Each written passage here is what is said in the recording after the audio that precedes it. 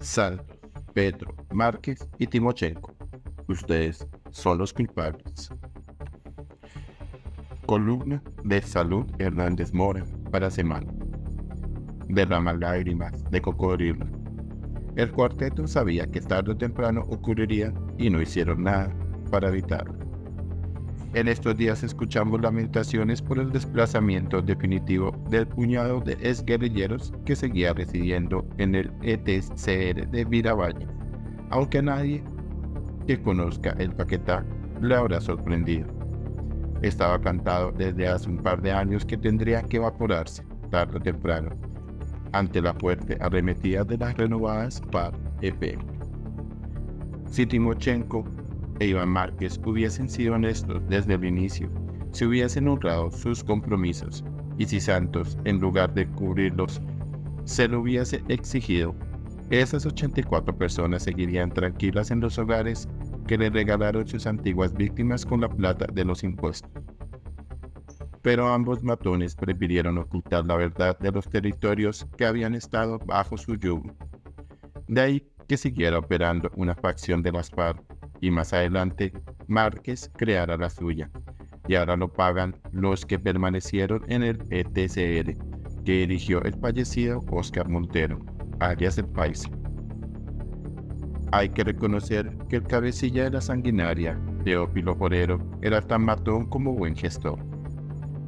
Por esa razón sacaron adelante proyectos empresariales y los presentaron al mundo como ejemplos de reinserción social, tipo el remando para la paz, que se hizo muy popular. Pero la realidad no era tan bonita. El problema radicaba en el alma podrida de alias el país, que la cúpula guerrillera conocía. No estaba arrepentido de nada, no sentía el menor remordimiento por sus crímenes atroces y nunca creyó en la paz. Con una mano diseñaba una iniciativa turística o agrícola, rentable y atractiva y con otra mantenía control sobre la caqueteña región del pacto por medio de presidentes de HAC, que le continuaban copiando por temor o por complicidad, sin dejar de lado la planeación del retorno a las armas. En una ocasión en que recorrí una parte del Caquetá, los campesinos comentaban que comandantes parianos recuperaban las fincas que habían dejado en manos de atestaperos durante varios lustros pagaban con las platas robadas.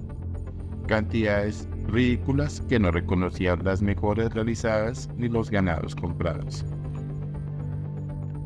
También relataban la afanosa búsqueda de las huacas repletas de plata.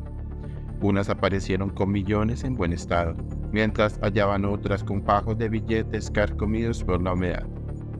Dineros de secuestro y vacunas que no quisieron entregar a tiempo. Igual ocurrió con las armas.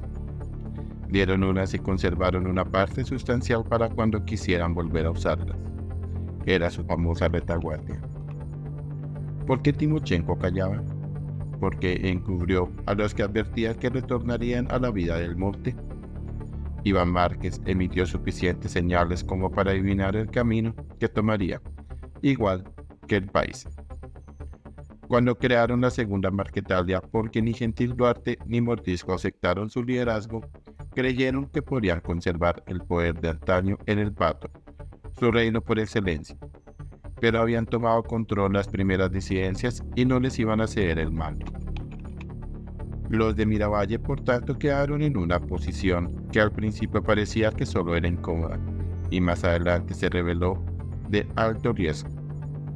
Aunque el paisa ya no era su jefe y repudiaban empuñar de nuevo las armas. Difícil quitarse el estigma de aliado del tamaño criminal, máxime cuando seguía extorsionando y dando órdenes a sus milicianos y aliados desde su guarida de Venezuela. ¿Por qué y comunes no denunciaron que el paisa e Iván Márquez obligaban a los campesinos a desplazarse hasta los campamentos de la segunda Marquetalia en el país vecino para negociar vacunas y tierras? Si se sabía que un tal Valbuena, plenamente identificado, era el enlace con el paisa y se movía a sus anchas por Neiva, ellos lo desconocían. ¿Por qué permitían que siguiera tan campante? porque nunca destaparon las finanzas de los comandantes. Otro foco de ajustes de cuentas. El paisa intentó matar a Timochenko enviando dos sicarios al Quindío y ni aún así la vieja cúpula dio un paso al frente para revelar verdades que habían evitado decenas de guerrilleros asesinados. Después de la muerte del paisa, sus alfiles difundieron la mentira, incluso este mismo año, de que había sobrevivido al ataque.